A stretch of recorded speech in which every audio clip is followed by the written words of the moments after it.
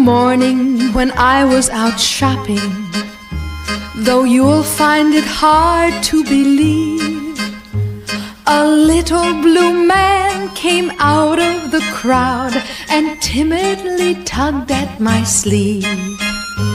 I love you, I love you, said the little blue man. I love you, I love you to bits. I love you. He loved me, said the little blue man, and scared me right out of my wits. I hurried back to my apartment. I rushed in and I closed the door.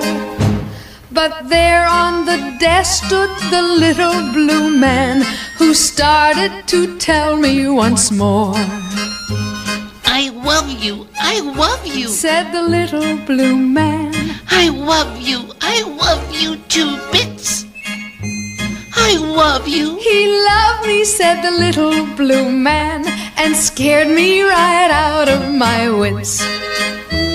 For weeks after that, I was haunted, though no one could see him but me. My side was the little blue man, wherever I happened to be. I love you. One evening in wild desperation, I rushed to a rooftop in town and over the side pushed the little blue man who sang to me all the way down. Said the little blue man. I love you, I love you to bits. I love you. He loved me, said the little blue man, and scared me right out of my wits. I whispered, thank goodness that's over. I smiled as I hurried outside.